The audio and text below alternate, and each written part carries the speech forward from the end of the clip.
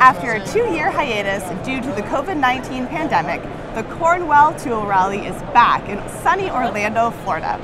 Here to tell me more about the show and what new and interesting products we're seeing is Don Russell, the Director of Marketing for Cornwell. Thank you for joining me, Don. Thank you, Amanda. So my first question for you is I noticed that this year's theme is Forging Ahead. Yes. Why is that the theme? Well, forging ahead. I mean, forging is a is a tough process to make tools. It requires strength. It requires a lot of power, and it's like after COVID and supply issues and things, it just seemed to be the appropriate theme. Our entire group, the dealers, were forging ahead. In spite of what's happening in the world, we're still moving forward. So we thought that would be appropriate.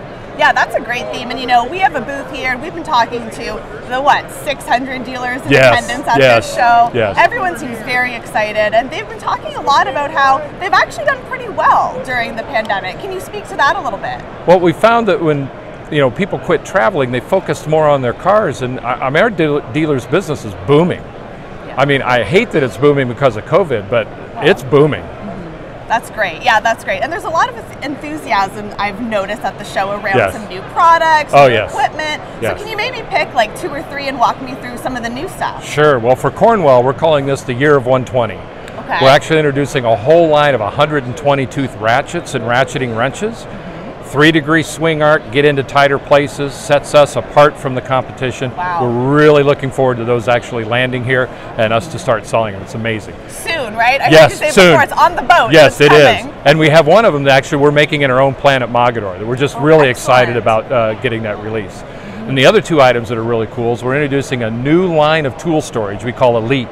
And it's actually a smaller box, can also work as a cart, and those we're going to be shipping right away. And then the other really cool item is we have a power crib. And this crib can attach to the side of our Platinum tool storage line, and it has an amazing amount of storage for rechargeable tools. It's amazing. And those are going to be shipping now, and our dealers are just so excited about it. And there's there has to be so much demand for that, right? Oh, there is. Well, Yeah. rechargeables are taking over the world. Right, exactly. Yeah, exactly. yeah. Well, perfect. That's great. Thank you so much, Don, for that. Oh, my pleasure. I think there's a lot that we're seeing here that you know technicians and mobile tool dealers are very excited about. So thanks cool. for your time. Thank you.